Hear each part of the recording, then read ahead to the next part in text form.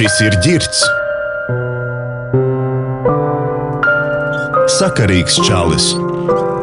Tomēr reizēm ģirts rīkojas stulbi, jo pāri saules kausi viņu nekavē sēsties pie stūres.